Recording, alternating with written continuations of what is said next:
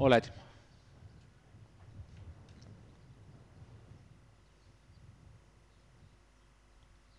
Έχει δοθεί εκκίνηση.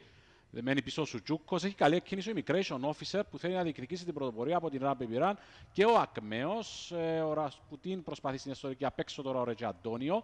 Πρωτοπορία η Ράμπε Μπιράν Ακμαίος και η Immigration Officer ακολουθούν. Ενώ τώρα ο Ρετζι Αντώνιο στην εξωτερική θέλει να βελτιώσει την θέση του εις βάρος του Immigration Officer με Ράμπε Μπιράν μπροστά.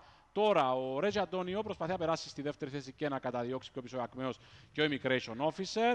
Με την Run Baby Run στην πρωτοπορία. Τώρα ο Ρέτζι Αντώνιο πλησιάζει ακόμη περισσότερο στη στροφή. Έμεινε πίσω ο Ακμαίος και ο Immigration Officer.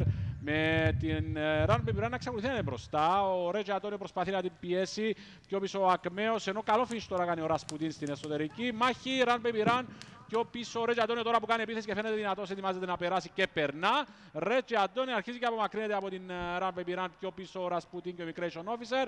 Ο Ρέτζι Αντώνιο δυνατός προσπαθεί Ram Baby Run να διασωθεί στη δεύτερη θέση από το finish που κάνει ο Ρασπούτιν. Ram Baby Run και Ρασπούτιν για δεύτερη θέση πιο πίσω Immigration Officer.